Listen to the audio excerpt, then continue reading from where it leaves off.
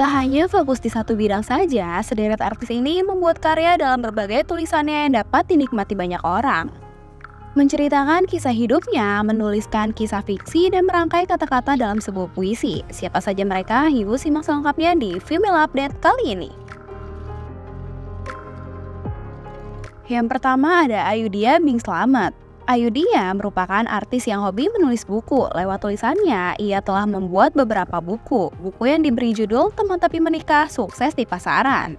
Buku ini bercerita tentang ungkapan kisah nyata Ayudia Bing Slamet dan suaminya di top percussion yang berteman sejak SMP sampai akhirnya hubungan keduanya berakhir manis di pelaminan. Yang kedua ada Natasha Rizky. Natasha Rizky, mantan istri Desta ini baru saja meluncurkan buku puisi terbarunya yang berjudul Kamu Tidak Istimewa. Dalam buku ini, Natasha mengambil kiasan tentang bagaimana kita bukan satu-satunya makhluk Allah yang diuji. Selanjutnya ada Maudi Ayunda. Maudi Ayunda dikenal sebagai salah satu artis yang berwawasan luas karena hobinya membaca buku. Pada usia 24 tahun, ia juga menulis buku.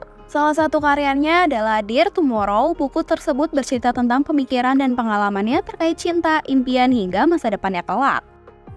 Yang terakhir ada Prilly Latukonsina. Prilly Latukonsina tak hanya berprofesi sebagai artis, ia juga membuka bisnis di bidang kuliner dan masih menyempatkan waktu untuk menulis buku. Perempuan penuh prestasi ini sempat menulis buku berjudul Fata Morgana pada 2018 lalu.